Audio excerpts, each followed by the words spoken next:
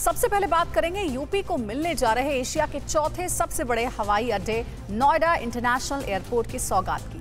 फिर आपको जेवर में पीएम मोदी के जय घोष की मिनट टू मिनट रिपोर्ट के साथ एयरपोर्ट के रनवे से कौन भरेगा सियासी उड़ान, सब कुछ दिखाएँगे।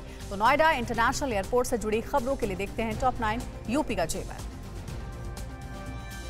प्रधानमंत्री मोदी आज दोपहर एक बजे अपने dream project Noida international airport का शिलान्यास करेंगे। एशिया के चौथे सबसे बड़े एयरपोर्ट के भूमि पूजन और शिलान्यास को लेकर उत्साहित पीएम मोदी ने ट्वीट किया कि 25 नवंबर भारत और उत्तर प्रदेश के बुनियादी ढांचे के निर्माण में एक प्रमुख दिन है। दोपहर एक बजे नोएडा इंटरनेशनल एयरपोर्ट का शिलान्यास किया जाएगा। इस परियोजना ऐसी वाणिज्य, कनेक्टिविटी और पर्यटन को काफ़ी ज़्यादा बढ़ावा मिलेगा।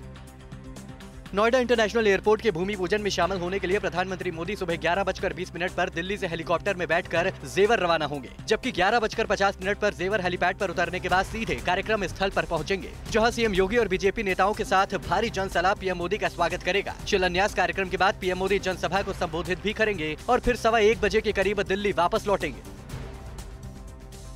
पीएम मोदी के आगमन को देखते हुए जेवर को हाई सिक्योरिटी जोन में तब्दील कर सुरक्षा की ऐसी कड़ी व्यवस्था की गई है कि परिंदा भी पर नहीं मार पाएगा। पीएम मोदी की सुरक्षा में एसपी स्तर के बारह अधिकारी, बारह एएसपी तेईस जीएसपी तिरसठ निरीक्षकों के साथ गौतम बुद्ध नगर के नौ थाना प्रभारी तैनात रहेंगे। जेवर के चप्पे चप्पे आरोप करीब पाँच हज़ार पुलिस कर्मियों को भी तैनात किया गया है। ट्रैफ़िक पुलिस ने पीएम के दौरे को देखते हुए यातायात और पार्किंग को लेकर भी एडवाइजरी जारी की है।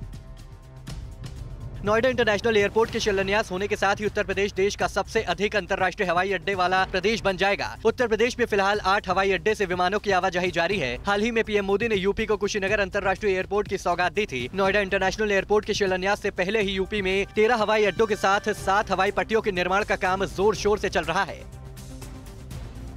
पीएम मोदी के dream project Noida international airport को लेकर यूपी के सीएम योगी शिलान्यास कार्यक्रम की पूरी तैयारियों पर खुद नज़र रखे हुए हैं। नोएडा इंटरनेशनल एयरपोर्ट का निर्माण ज्यूरिक एयरपोर्ट इंटरनेशनल एजी करेगी। एयरपोर्ट का विकास दो स्टेज में होगा। पहले चरण के विकास के लिए करीब तीन तीन सौ एकड़ भूमि का अधिग्रहण किया गया है।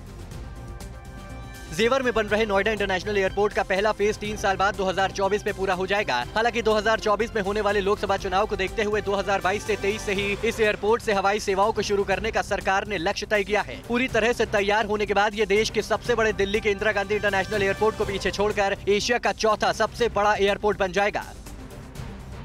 नोएडा इंटरनेशनल एयरपोर्ट को देश के तीन एक्सप्रेसवे से जोड़ा जाएगा। एयरपोर्ट से आईजीआई और ग्रेटर नोएडा तक मेट्रो चलेगी। एयरपोर्ट को हाई स्पीड रेल लाइन और पॉट टैक्सी से जोड़ने के साथ ही Delhi Varanasi bullet train corridor का एक स्टेशन भी एयरपोर्ट की टर्मिनल बिल्डिंग में बनाया जाएगा। नोएडा इंटरनेशनल एयरपोर्ट का विकास दो स्टेज में होगा। पहले चरण में तीस हज़ार करोड़ रुपए की लागत से एयरपोर्ट पर दो रनवे बनाए जाएँगे। एयरपोर्ट पर दो रनवे बन जाने से दिल्ली एयरपोर्ट पर दबाव कम होगा और सालाना करीब एक करोड़ हवाई यात्री उड़ान भर सकेंगे। दूसरा चरण पूरा होने के बाद एयरपोर्ट पर रनवे की संख्या बढ़कर पाँच हो जाएगी। एयरपोर्ट शुरू होते ही दिल्ली देश का पहला ऐसा शहर बन जाएगा जिसके सत्तर किलोमीटर के दायरे में तीन एयरपोर्ट होंगे। यूपी चुनाव से पहले कुशीनगर एयरपोर्ट की सौगात देकर और अब नोएडा इंटरनेशनल एयरपोर्ट का शिलान्यास करके योगी सरकार ने यूपी की जनता के सामने विकास का ऐसा रोड मैप तैयार किया है, जिसके सहारे बीजेपी को यूपी की गद्दी दोबारा हासिल करने में मदद मिल सकती है। केंद्रीय उड्डयन मंत्री ज्योतिरादित्य सिंधिया की माने तो इस प्रोजेक्ट के ज़रिए दो बिलियन डॉलर का निवेश आ चुका है और आसपास के क्षेत्रों में साठ हज़ार करोड़ के निवेश का अनुमान है। अड़ी, सोमवार से शुक्रवार शाम छह बजे, सिर्फ़ टीवी नाइन भारतवर्ष पर।